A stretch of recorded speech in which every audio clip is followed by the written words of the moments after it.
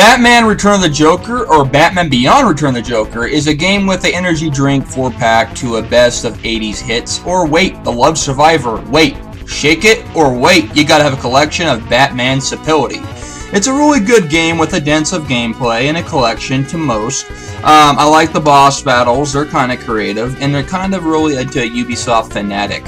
Um, it's really a crazy game. I really like how they made the music, it was pretty catchy, but I'm going to give it a not even a higher rating, I'll give it about a medium low score rating.